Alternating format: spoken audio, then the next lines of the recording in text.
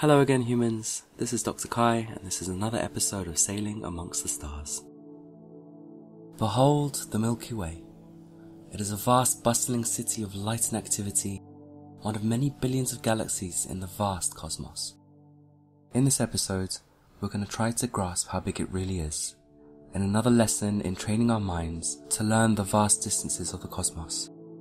We're going to cross all the way from home to the very core itself, a place that has never been seen before with telescopes because it is obscured with dust. In the first episode, we learnt what one light year really feels like, and then we went all the way up to 100.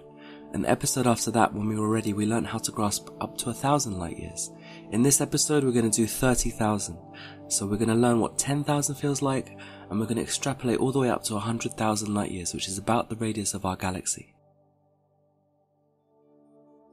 As usual, we're going to be starting at Earth, our home, but this time instead of pointing away from it towards the Orion molecular complex, we're going to be pointing towards the core. You can kind of think of the core as the city, and we kind of live in the quiet suburbs surrounding the city. We actually exist in a mini arm that stretches between two of the major spiral arms of the galaxy, the Sagittarius arm and the Perseus arm. It's called the Orion Spur, and it's our home. It's not very dense over here. In fact, the density compared to the core is minute. Over here you'd be lucky to find one star every cubic parsec, and remember a parsec is about 3 light years. And it can be as many as one star every 10 cubic parsecs, whereas in the core, estimates range from 100 to even 1000 stars every cubic parsec. So it's going to be a very busy place and it's going to be quite exciting to go there for the first time.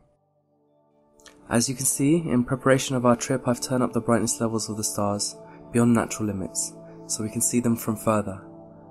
This helps us better visualize and understand the density of the stars that we're passing. Because the goal of this series, the Learning to Fly series, is to try and get a good grasp of these great distances between the stars and between the galaxies. In this voyage, we're going to go 30,000 light years and we're going to end up right in the center of the core of the galaxy. 30,000 light years, that's 30 times further than what we did in our previous trip. So of course I'm going to have to go a lot faster. I'm going to start off at speeds we're familiar with, and we're now at our cruising speed of 1 Alpha Centauri distance per second, 4 light years per second, give or take. But I'm going to keep on doubling it as we go along, and we're going to try and get familiar with those speeds before we move on to the next. And so this is the speed that we're quite familiar with now, but it is too slow. At this speed it will take 2 hours to get to our destination. And while it would be a brilliant way to kick back with a beer and relax, I think we're going to speed up a bit to shorten that. And so I've doubled our speed now to 2 Alpha Centauri distances per second, 8 light years per second, and with the brightness much higher than it was before, let your eyes wander to the more distant stars that you can see further away, and see them unravel as we move closer towards them, and get a better feel for the density of stars.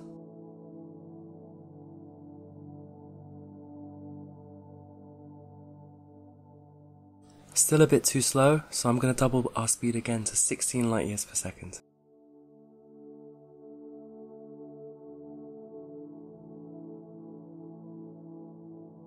And let me briefly dim the stars to their natural levels so you can see what this would really look like.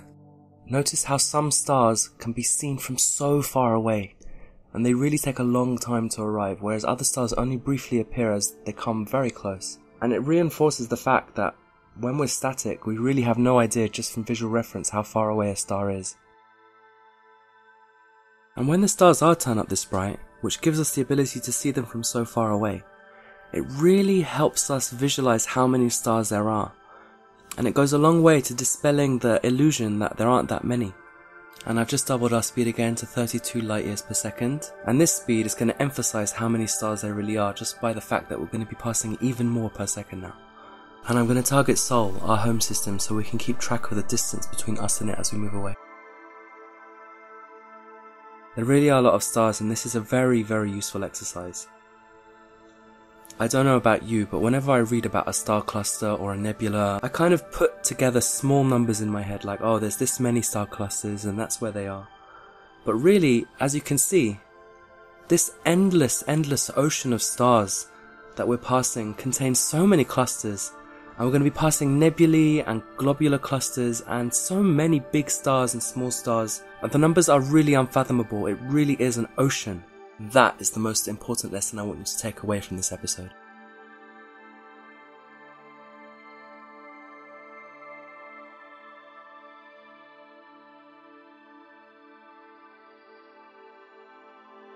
And now we're going to double our speed again to 64 light years per second, and this is a ridiculous speed. As you can see, even the bright stars are whooshing past in a complete blur.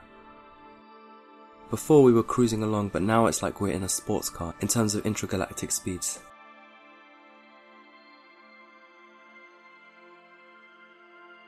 It's a bit easier to get a sense of our speed if we look sideways, so take a look sideways and look at what we're passing and how fast we're passing it. Look at that extremely distant star cluster, look how fast it's going by. The galaxy is opening up in this sense. This is one of those speeds where we're really bordering on seeing details of the galaxy itself begin to move. And if I begin to move up and down through the galactic plane, we're actually moving at a speed where you can see the dust clouds themselves, those great dust lanes that thread their way across the galaxy move and you can actually see their shapes changing due to parallax. Oh, and there's Sagittarius, the dwarf spheroidal galaxy. That is uh, one of our satellite galaxies around the Milky Way, um, and it's extremely interesting. We're going to have to do something on that. It's basically collided with our galaxy a dozen times, and there's even a theory that our sun was born there and got seeded into our galaxy through one of those collisions. It contains about 50 million stars. It's directly above the galaxy, but on the exact opposite side of the core. Now directly in our path is a globular cluster. We're going to do a flyby of it, and as you can see they are stunningly gorgeous places. They're like the mini version of that dwarf galaxy that I pointed to you, and there's many of them in our galaxy as you can see. And we're definitely going to come back to them because scientifically they are fascinating and there's so much to talk about. As I said, you can really start to see the macro details of the galaxy start to move. You can see the core approaching, you can see the strands of those dust clouds Thousands of light years across some of them begin to move and their shapes come alive. As we pass the 10,000 light year mark from Sol, we are starting to see more clearly into the core. We have passed through much of the cosmic dust that obscures it normally. Let's talk a bit about that cosmic dust. What is it? Well, it is indeed tiny dust particles of all sorts, small molecules that are rarely bigger than a particle of smoke. And even though they might look very thick, they are not. That dust is everywhere in the galaxy and outside it too, and the strands you can see are thousands of light years long. I'm going to turn the brightness of the stars back to their normal level now, so you can see more directly these clouds that I'm talking about. They may look thick, but they're not. In fact, in our region of space, if you were in a car, you'd have to drive about a thousand kilometers before you collide with one of these tiny dust particles. And that's representative of the general density of these clouds. It's just that we are looking through thousands and thousands of light years of them. They begin to obscure our vision, and now it's easier to make out their shapes, and they really do feel like clouds now that I've doubled our speed to 128 light years per second, which is an unfathomable speed. Look at this huge nebula flash by, one of many thousands of nebulae like it in the galaxy. And look at how all the stars are now streaming past us in a blaze. And here comes another one of those nebulae. And we're starting to orbit the core a bit now. We're at one of those speeds where we really can see the macro features of the galaxy moving. We can see the galaxy itself moving underneath us. And here comes another globular cluster. These very ancient collections of stars. This one's rather diffuse compared to the previous one. We are now slowing down to pass through it. Going so slow that you can't even see the galaxy beneath it moving anymore. It just goes to show how large the galaxy is and how amazing a view we have from here. The globular clusters are usually located outside the disk of the Milky Way, orbiting it in the halo, where all the dark matter is. Some of them get the most stunning views. Anyway, now let's move into the core. The core is bright because the dust inside it is being lit up by the sheer quantity and density of the stars there. Generally, when we point a telescope at a spiral galaxy outside our own, the core outshines the arms, and we need special filters to be able to see them. As you can see, even though I haven't turned up the brightness yet, there are more stars passing us. But now I've turned the brightness up and you can really see the sheer bustle and density of the stars around us. It's a stunning place. And as you can see, it's going to get thicker and thicker the further we get in.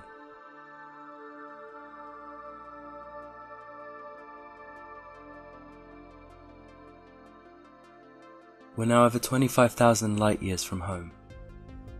And the amount of stars, the amount of just stuff in general between us and home is scary.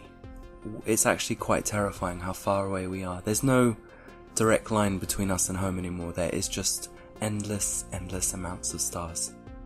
And we're now in a place that has never been seen before because it's completely obscured by dust. It's actually quite special to be here. Let's head right to the very centre of it all, the busiest place in the galaxy where the supermassive black hole is.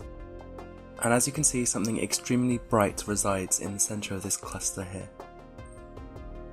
It is the supermassive black hole Sagittarius A star, the powerhouse of our galaxy, the anchor of the galaxy itself.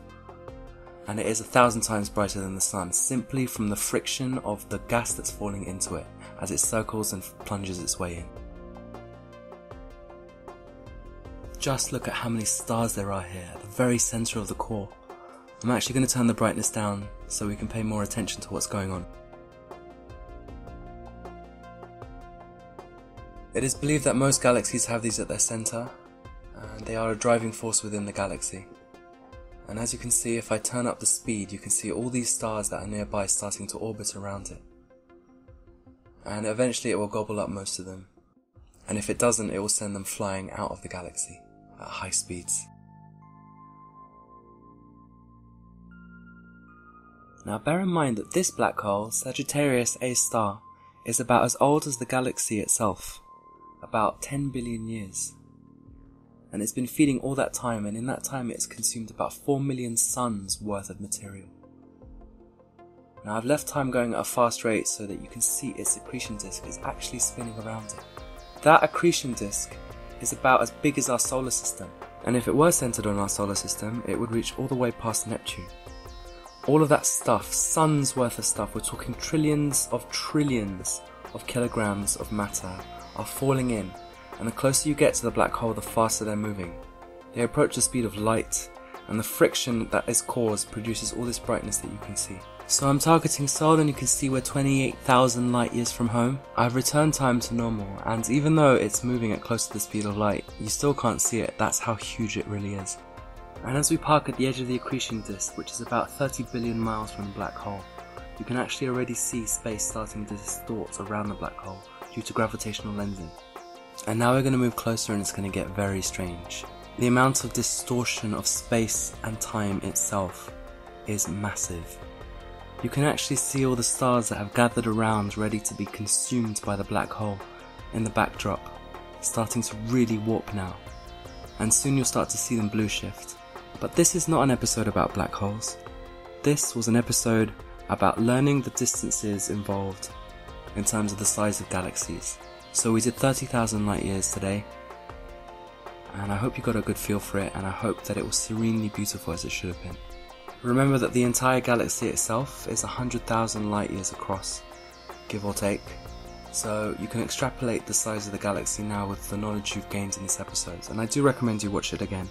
It's an extremely useful tool for your brain to have, and it will only add to your pleasure and the sheer wonder that your mind experiences when it starts to contemplate these vast distances. What's next is to take this knowledge and try and fathom the distances between galaxies and eventually all the way out to the size of the universe itself. But let's slow down, let's pull out, let's zoom out, look down upon the galaxy and just take a look at the distance we did. And there you go, there's Sol, and that's 30,000 light years to the core of the journey we just did. I hope it's been immensely useful to you. I hope that it's given you what to think about and it's helped you in your quest to understand the scales and the size of the universe. Watch it again, digest it, because in the next episode we're going much further. So long, humans.